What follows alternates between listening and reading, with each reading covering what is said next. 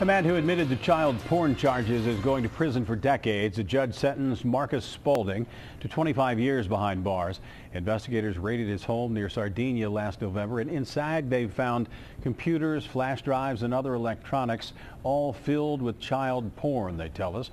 The prosecutor called it one of the most disturbing cases he has ever encountered.